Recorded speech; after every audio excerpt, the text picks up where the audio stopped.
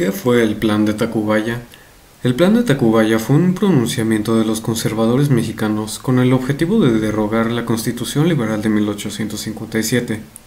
Fue firmado el 17 de diciembre de 1857 por los políticos conservadores Juan José Vaz, Mariano Navarro, Manuel Siliceo y José María Revilla. El plan fue redactado por el general Félix María Zuluaga en el Palacio Arzobispal de Tacubaya, en la Ciudad de México. El plan le daba entonces al presidente de la República, Ignacio Comonfort, poderes absolutos para poder gobernar y suprimir la Constitución sin la anuencia del Congreso de la República. El pronunciamiento del Plan de Tacubaya fue una de las causas del estallido de la Guerra de Reforma, que enfrentó liberales y conservadores entre 1858 y